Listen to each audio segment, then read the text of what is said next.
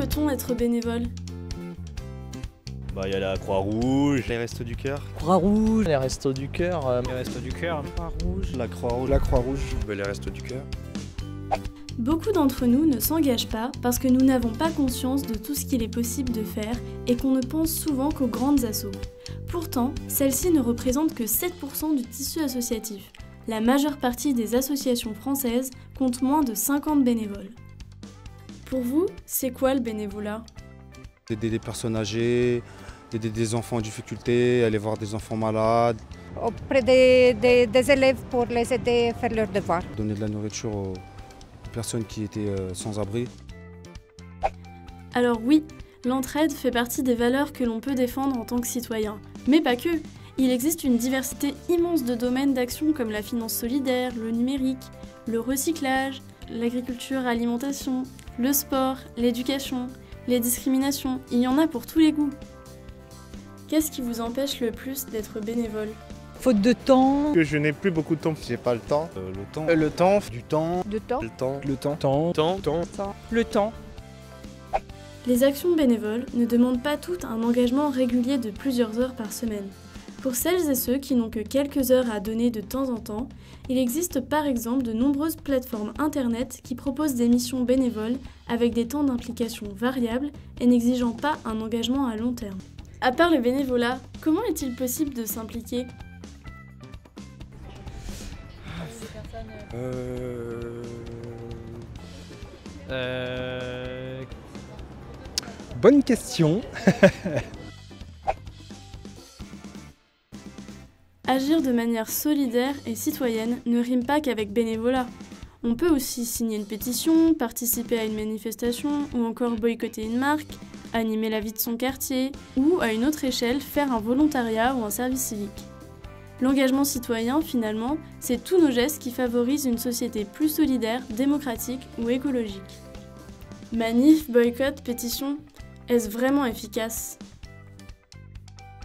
Je pense pas. Je pense que c'est quand même assez limité. Je suis pas trop manifestation. euh, La plupart du temps, j'ai l'impression que ça sert à rien en fait. Bah ça c'est ça c'est c'est de la merde un peu. hein. Euh, c'est bien de proposer des idées, mais après y participer, euh, c'est pas forcément bien vu toujours.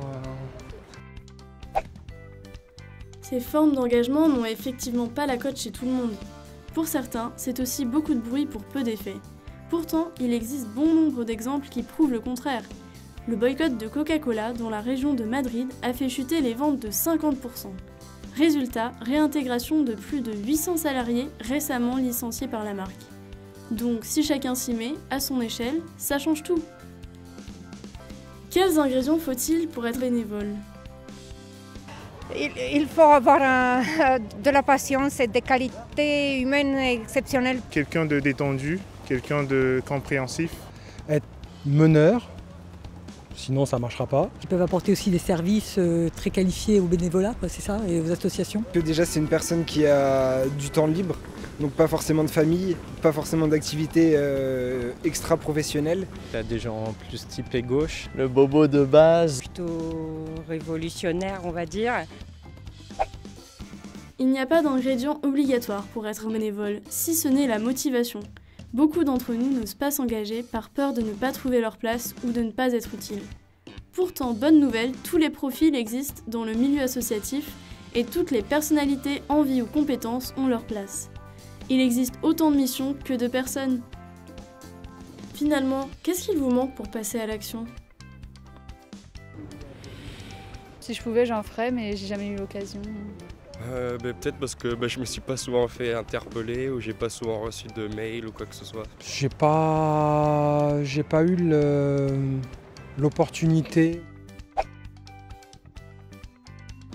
Si tu es perdu, tu peux commencer par te procurer un guide pour agir. Asteria a créé un guide disponible à prix libre qui répertorie 230 manières d'agir et plus de 1000 contacts pour s'engager à Paris et ses alentours.